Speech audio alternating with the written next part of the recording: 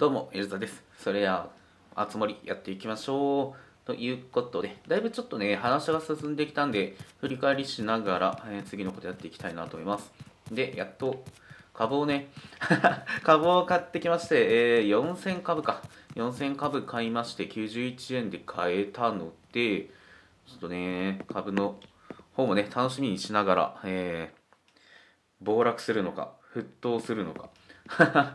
ちょっと楽しみだけどね。まあ4000株、またこれに関しては、売るときとかそのタイミング見てお知らせしたいなと思います。いや、なかなかね、上げ下げ激しいよね。じゃあ、えーやっていきましょうか。えーとですね、前回の話で言うと、あのーキャンプサイトを作ろうみたいな話になってて、あれ、キャンプサイトそのまま作ってしまえばみたいなとこあったらしいんですよ。なので、作ったらもうこういうものが作れたんで、キャンプサイト設置しました。で、えー実際人が来ると、テントが張られて、まあ、この形のテントがね、張られてっていう感じです。で、やってたら、あのその住人もう住むことになったんで、一応家がね、できたんですよ。えーと、ここか。ここ。なので、ちょっと先にご挨拶行きたいなと思います。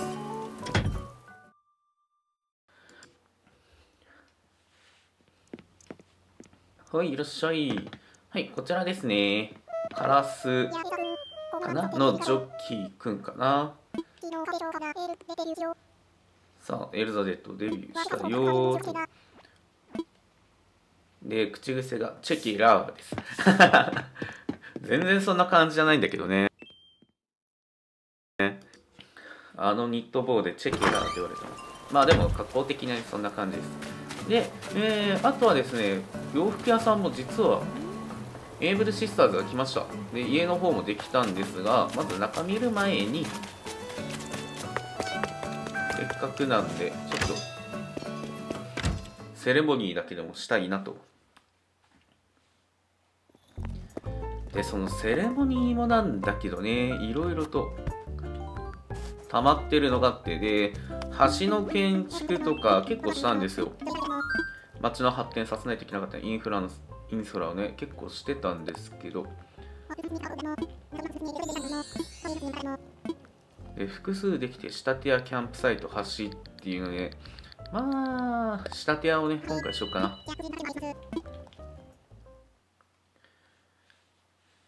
まあこれでね服が買えるようになったんでどんな感じの服かも見たいなというのと、えー全く目の前が見えないというのとまあ家を建てたから仕方ないか。さあありがとうございます。皆さん台湾の力金庫のエルザレット。は素晴らしい発音を遂げているだなもいやー絹代さんがね全く見えない。皆さん陰でこんな素敵なお店が開けましたと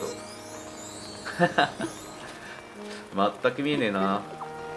朝見、えーどうぞおひいき。さそうだね。えーとねその肝心な僕が全く見えてないっていう。えーとそうだね。めでたいね。帽子しか見えないっていう。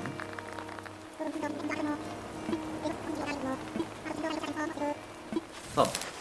なんならジョッキーくんもねほとんど見えてないからね。よー。おお見えた見えた。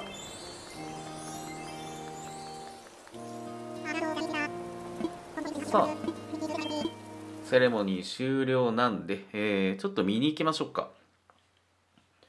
今日はねちょっとどこそこ行ってやりたいこととかあったりとかちょっと話が進むところもあったんでそこをメインにやっていきたいんでね。じゃあ洋服屋さんへ。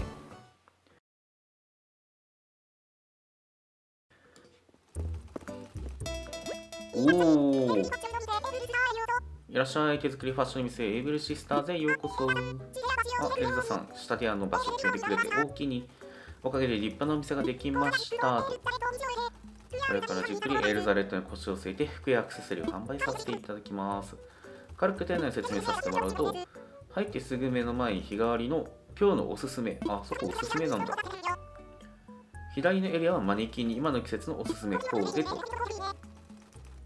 定期的に入れ替えまあ真正面が結構大事か。あへえマイデザインね。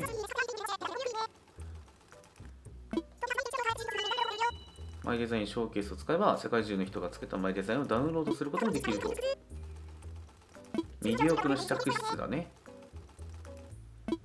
えー、お朝9時夜9時で張り切って営業します。12時間営業ってことだね。ああそしたら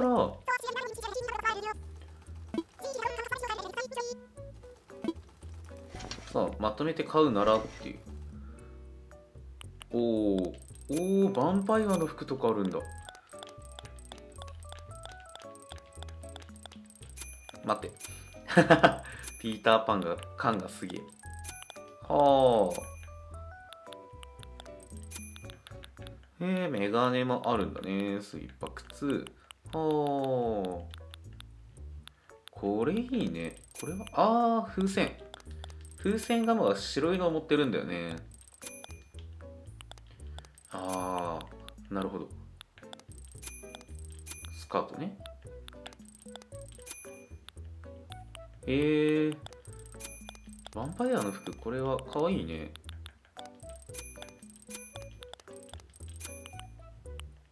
ああこんな感じでね。へえー、あこうするとまたこれはこれでかわいいね。買うのは後にしよう。ええーこれが日替わりがちょっと楽しめる感じだね。いいえいいえ。ああ本日って感じか。でマイデザインがそうだねこれはちょっと設定してきますか。はいということで、えー、ワンポイントパーカーだったりとかちょっとね今服を作ったものを上げてきました。これはあれだねスプラだね。作り直したりもしたいね。これが 2B でしょ、えー、ドラッグ11のベロニカの衣装を、で、ディーンベル。これ知ってる人は、なかなかやと思うな。作品的にね。まあ、という感じでちょっとしてますんで、ま、気になる方は左下の ID 見てもらえるといいかなと思います。ここにね、貼ってくれたら最高なんだけどね。おー、これが今のってことね。で、君は？今ちょっと立て込んでますし。立て込んでますし。ますしで止まったか。えー、洋服はちょっと次回の楽しみにして、今度買いに来ようかな。はい、大きにまたどうぞ。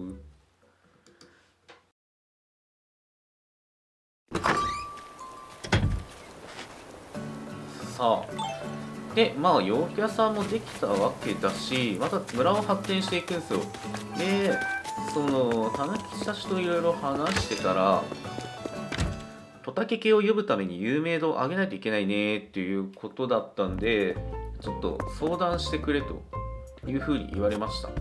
なのでちょっとそれをしたいなと。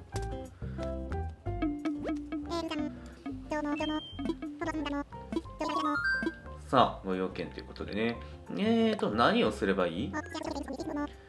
それじゃあ、プロジェクト K の最後の大仕事について。おもう最後来たんだ。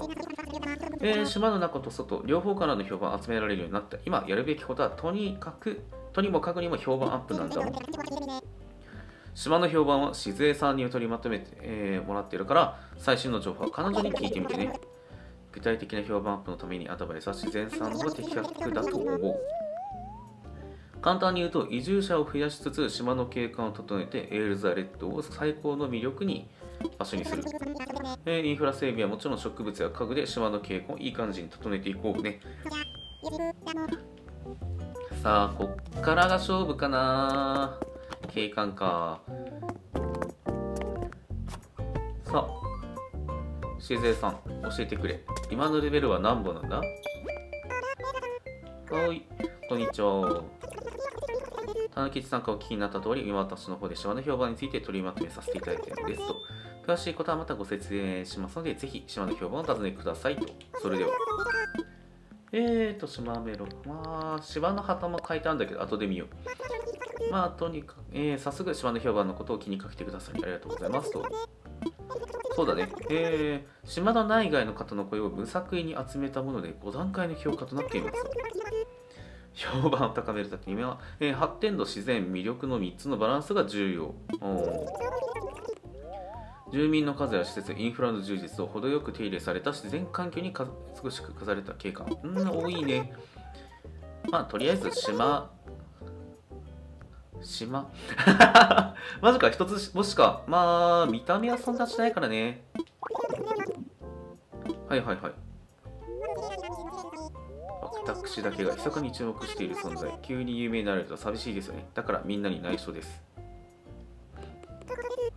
とのことです。いや、参考にならねえな。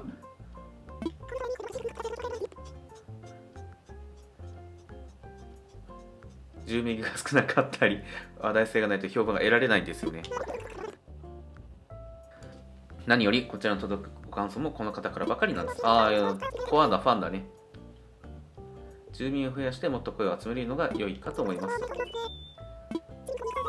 さあ、そしたら、またちょっといろいろとね、整えていきますか。まあ確かにね、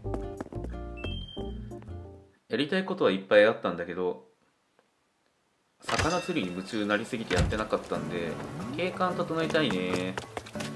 ここたぬきでしょ？家ここでしょ？花も植えたいのあるし、結構やること多いかもね。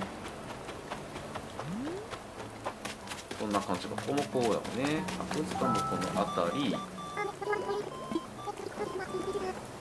あはいはいそうですね。何くれるの？おお飾り物くれるんだ。一斗缶。一斗缶。一斗缶 ちょっと待って。どういうこと？一斗缶だよね。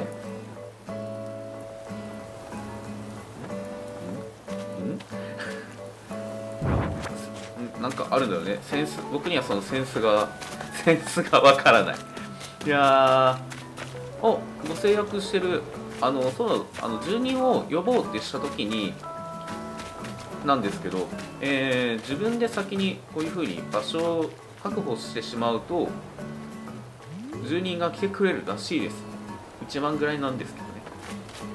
先払いで。で今1人決まったみたい。に1日1人って感じかな？この感じだと。昨日設置して1つだけなんでね。まあそっか。となると釣りしてじあの図鑑ばっか埋めてたりとかしてる場合ではないか。